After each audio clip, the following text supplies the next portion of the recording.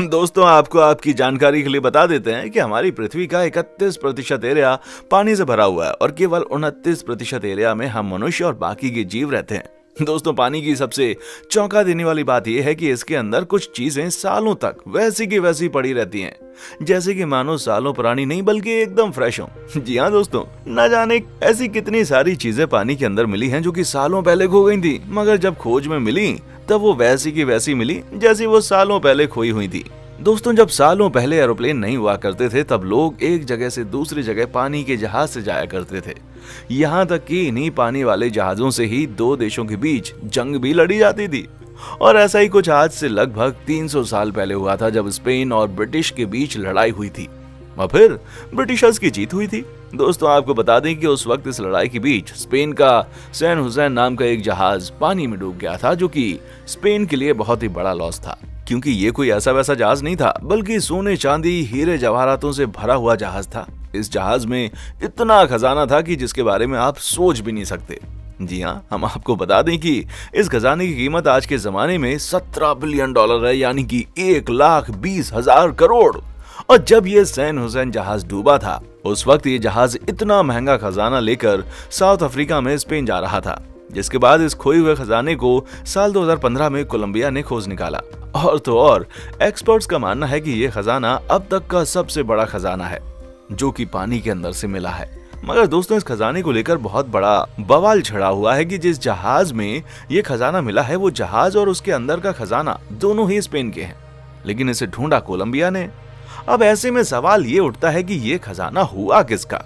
वैसे दोस्तों, सही मायने में इस खजाने के हकदार दोनों ही देश हुए, मगर इस बात का ऐलान अभी तक हो नहीं पाया है कि ये खजाना किसको मिलेगा या दोनों में बटेगा। दोस्तों, जहाज़ पानी के अंदर ज़्यादा नहीं डूबते हैं और वो बाहर से दिखाई देने लगते हैं। ऐसा ही कुछ कनाडा के ऑन्टारियो शहर के पास कोयला लेकर जाने वाले शिप के साथ हुआ, जो कि डूब तो गया, मगर पूरा नहीं, जिसे बाद में रेस्क्यू करके पानी के किनारे लाया गया। मगर उसे पूरी तरह से पानी से बाहर नहीं निकाला जा सका, जो कि अब पानी के जस्ट ऊपर से दिखाई देता है। जिसे देखने के लिए लोग दूर दूर से आते हैं।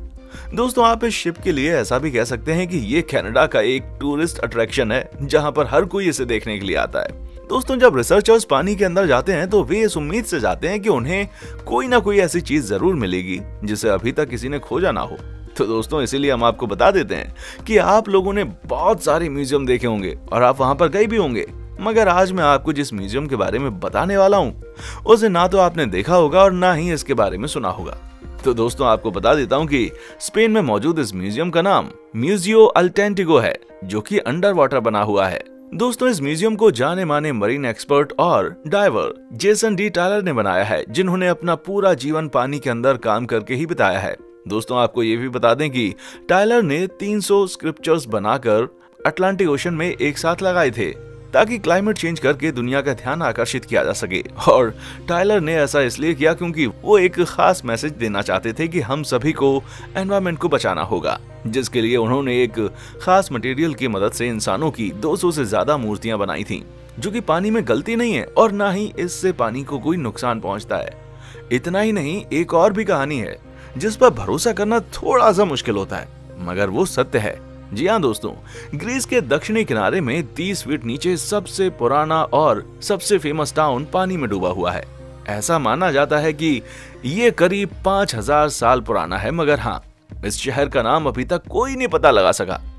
आर्कियोलॉजिक डिपार्टमेंट की माने तो ये शहर काफ़ी पुराना और अमीर भी था।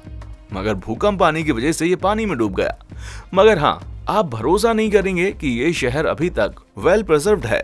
इतना ही नहीं, इस शहर के डिज़ाइन को अगर आप अच्छे से देखते हैं तो आपको देखने को मिलेगा कि इसे काफ़ी अच्छे से डिज़ाइन भी किया गया था, जो कि एकदम मॉडर्न शहरों के जैसा दिखाई देता है। इस शहर में आप रोड्स और दो मंजिलों के घरों को भी देख सकते हैं, जिसमें आपको घर के अंदर गार्डन भी देखने को मिलेगा। इस शहर को देखकर आप इस बात का अंदाज़ा तो लगा ही सकते हैं कि किस तरह के लोग वहाँ पर रहते थे। दोस्तों, ये बात तो आप सभी जानते हैं कि जब भी कहीं बाढ़ आ जाती है या कहीं समुद्र का लेवल बढ़ जाता है तो वो जगह पूरी की पूरी डूब जाती है। मगर दोस्तों, मैक्सिको में एक कैथेड्रल है, जो कि 500 साल पुराना है। इस 48 फीट लंबे कैथेड्रल को स्पेनिश लोगों ने बनाया था, जो कि डूब गया था, जिसके बाद साल 1960 में इसके पास ही एक और कैथेड्रल बनाया गया। क्योंकि उस वक्त किसे पता था कि डूबा हुआ कैथेड्रल पानी सूखने पर बाहर दिखने लगेगा? मगर दोस्तों, ऐसा ही हुआ कि जिस कैथेड्रल को पहले कोई नहीं पूछता था उसे देखने के लिए लोगों की भीड़ लगने लगी। क्योंकि इस कैथेड्रल का कुछ छिपा हुआ हिस्सा अभी भी पानी के अंदर है और इसके अंदर जाने के लिए लोगों को बोट का सहारा लेना पड़ता है। तो दोस्तों, आपको ये जानकारी कैसे लगी? हमें नीचे कमेंट बॉक्स में ज़रूर बताइएगा।